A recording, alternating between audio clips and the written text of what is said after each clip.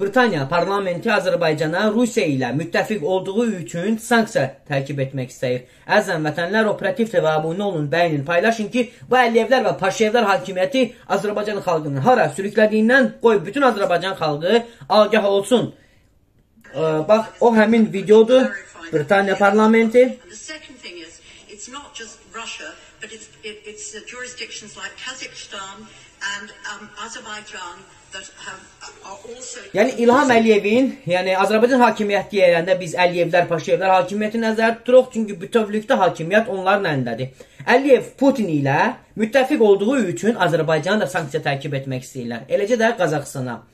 Yəni bu günləri Rusiya sanksiya tərkib olunandan sonra rublun nə hala düşdüyünü gördük. Yəni rubl ölüb artıq yoxdur və Azərbaycan e, Rusiyada bahalaşma daha da artıq sürətli şəkildə artmağa başlayır. Və bu günləri Azərbaycan vətəndaşı, sadə vətəndaşı öz ailəsini dolandırmaq üçün əzab əziyyət çəkir, dişlə, dırnaqla bir təhər çörək pulu qazanır. Və bu sanksiyalar Azərbaycana tərkib olunsa, Azərbaycan demək olar ki, daha da bərbad vəziyyətə düşəcək. İşsizlik sayı artacaq, insanlar həqiqətən də hətta çörək pulu belə qazana bilməyəcəklər. Çünki Azərbaycan e, küllü miqdarda nəsə ixal edən bir dövlət deyil, neftdən, qazdan başqa, o da ki, hamısı Əliyevlər və Paşayevlərin cibinə gedir.